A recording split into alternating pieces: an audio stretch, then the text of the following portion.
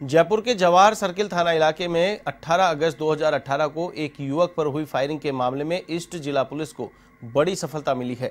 Jawahar circle थाना police ने मामले में फरार चल रहे लालकोठी निवासी स्ट्रीट सीटर गणेश जाट को गिरफ़्तार किया है। साथ ही पुलिस ने गणेश को पनाह देने वाले दो साथियों को भी दबोचा है। आरोपी गणेश ने अशोक गुप्ता नाम के युवक पर फायरिंग की थी, जिसमें पुलिस ने दो आरोपियों को तो गिरफ़्तार कर लिया था, लेकिन गणेश जाट फरार चल रहा था। पुलिस के मुताबिक गणेश जाट ने अशोक गुप्ता पर रुपयों के लेन देन को लेकर फायरिंग की थी। खास बात यह है कि पुलिस की ओर से गणेश जाट पर ग्यारह हज़ार रुपये की इनाम भी घोषित की गई थी। फ़िलहाल पुलिस आरोपी से पूछताछ में जुटी हुई।